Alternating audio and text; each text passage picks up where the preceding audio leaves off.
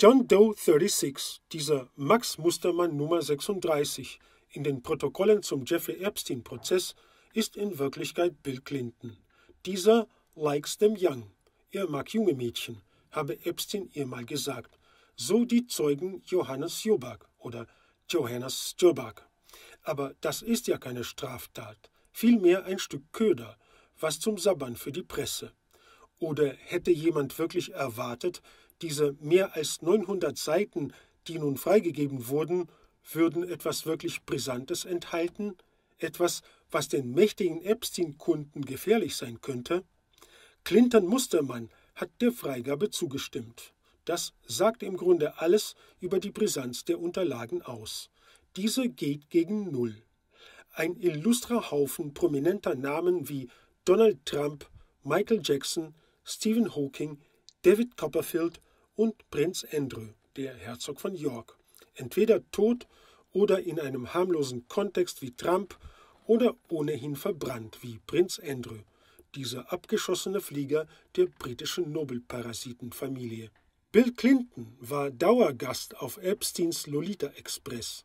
Sensationell. Ein Mann, der einen Krieg in Europa vom Zaun gebrochen hat, um seinen flüchtigen Fick mit einer Praktikantin vergessen zu machen.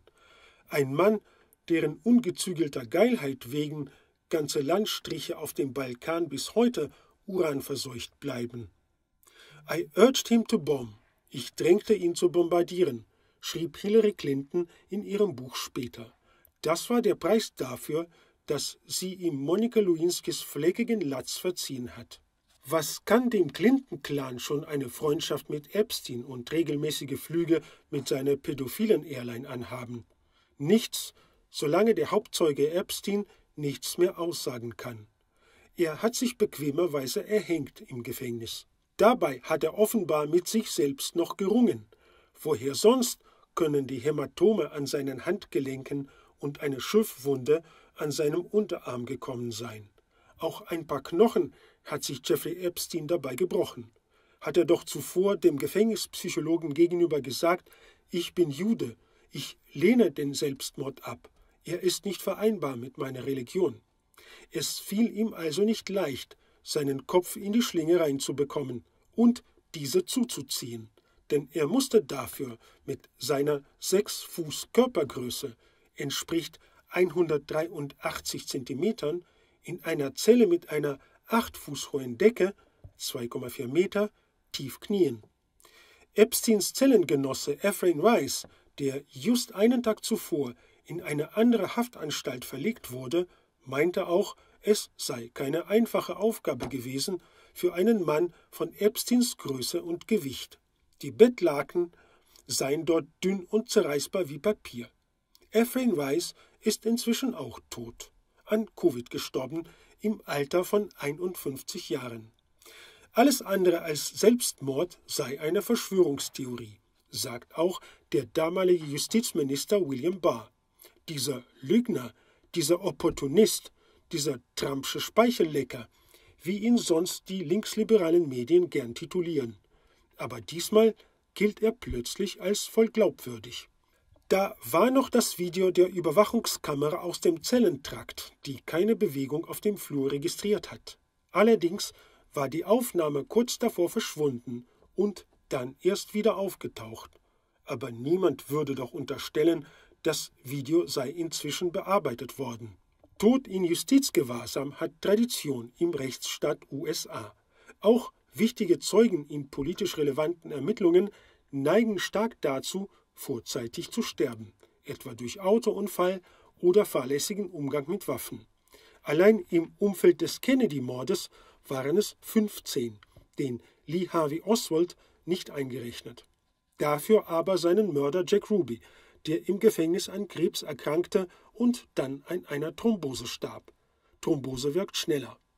Auch die Journalistin Dorothy Kilgallen, die Jack Ruby in seiner Zelle lange interviewt hatte für ihr Buch. Das Buch ist nie erschienen, denn Kilgallen hätte unversehens zu viel Schlafpillen geschluckt und Alkohol noch dazu, quasi als finalen Kopfschuss.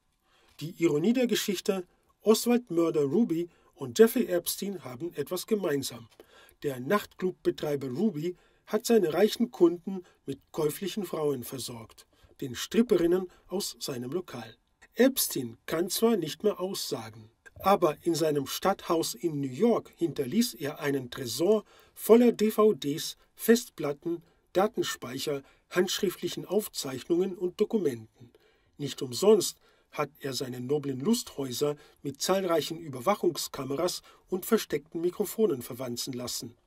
Die FBI-Agenten haben sein Haus durchsucht, im Zuge der Ermittlungen gegen seine Partnerin Ghislaine Maxwell.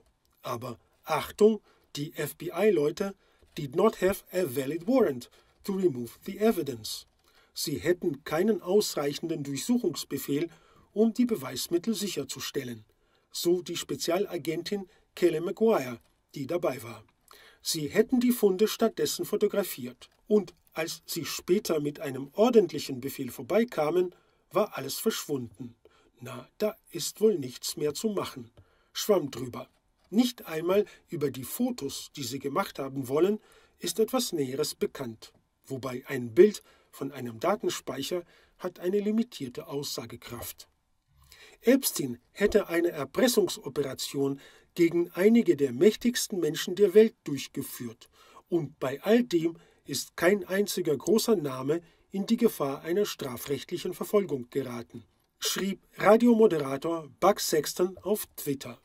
Wo sind also die Erpressungsvideos? fragt Sexton rhetorisch.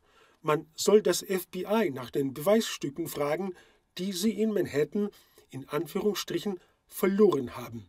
Oder lieber nicht kommt eh nichts bei raus.